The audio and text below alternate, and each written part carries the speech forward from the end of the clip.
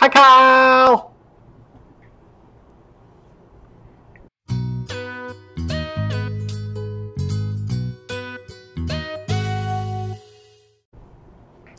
So what do I do? It's interesting you ask because there's a couple of things I do. One is I have this Apple Watch here on the old wrist. Let's see if we can get that to light up. Look at that, Apple Watch. The thing about the Apple Watch is it makes you want to stand up every hour by default so you are not sedentary for too long. Um, that requires you to put the watch on like first thing in the morning and, you know, stay up 12 hours. No napping. Uh, another thing about the Apple Watch is it requires you to actually burn calories. So it doesn't work the way the Fitbit does. Fitbit works based on steps. The Apple Watch tries to work based on like your heart and how those make calories get burned.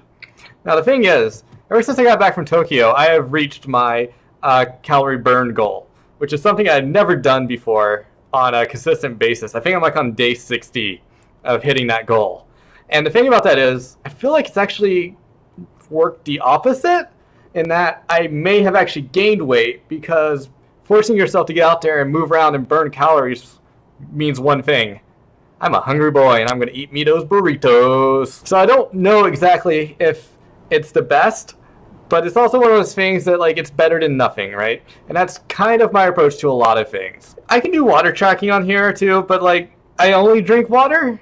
So as long as like I'm throwing away like all those cans of LaCroix, I'm probably going to be good on water. As for sleep tracking, you probably don't want to sleep with the Apple Watch on. Uh, so I got this thing called Sense. It's from hello.is. You can visit their website, hello.is. And it is a ball that goes next to your bed and tracks your sleeping. So you put this other little thing, it's like a little pill that goes on your pillow, and it tracks the sleeping from there. And I don't sleep eight hours either. I do sleep around seven, seven and a half hours. Um, and then it will grade your sleep based on like how much moving you did, how much actual sleep you did. And typically it's like, I don't know, it says I do like a 77 sleep score on average out of 100. So I think the highest I got was probably like 89 at one at like one time on accident. One of the things I do is I have uh, one of those Wi-Fi scales, so it adds the uh, weight to the Apple Watch, and I can go on there and see uh, how much I weigh. I don't typically lose weight. I'm not the most unfit person. I'm not fit by any standard. Also, like I'm fine. Like I don't like the idea that like when I go out, I only see fit people working out because like fit people probably don't need to work out as much as they are. It may be a controversial thing to say, but like at least in the city here, you see people who are like dangerously skinny to the point of you feel kind of gross.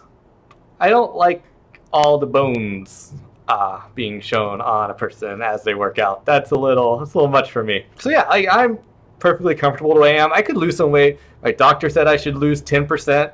Uh, I did some math on how much I weigh right now and what 10% would be. He is insane. Like, take away his doctor license because, like, telling me to lose 10% of how much I weigh right now is absurd. You, you are a madman, doctor. Give me your diploma. Doctor, give me your diploma. Like, that is, you're a doctor. You should know that's not how I work. That's not how this body's going to function. As to say, like, I am conscious of all this, and I don't know. I still don't do a good job. That said, yesterday I just walked from the mission of San Francisco to Japantown just to see if I could. I will go on like a long walk across San Francisco.